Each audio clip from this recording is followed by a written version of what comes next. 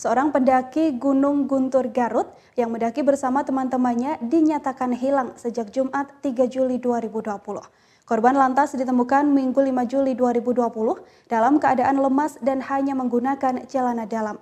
Hilangnya korban secara misterius ini mengundang banyak tanda tanya. Pasalnya sebelum menghilang korban diketahui tengah tidur di tenda bersama teman-temannya.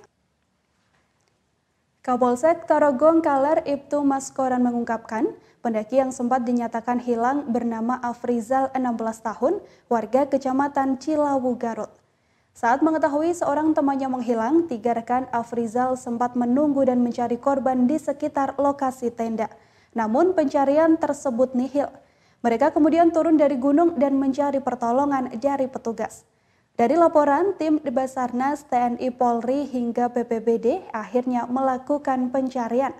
Korban ditemukan Minggu 5 Juli 2020.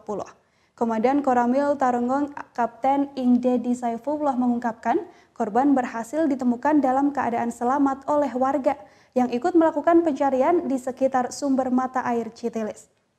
Lokasi penemuan korban juga cukup jauh dari pos 3 tempat korban mendirikan tenda bersama teman-temannya.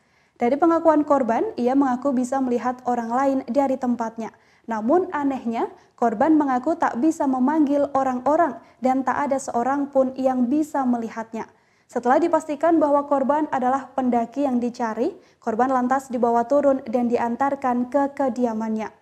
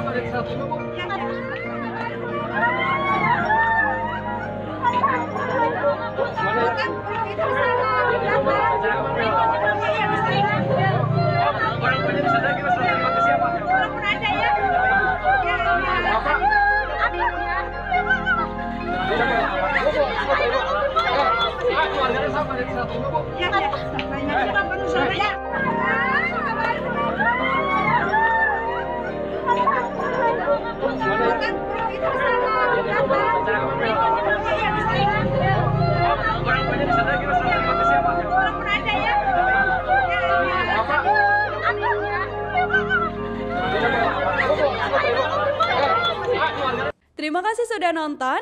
Jangan lupa like, subscribe, dan share ya.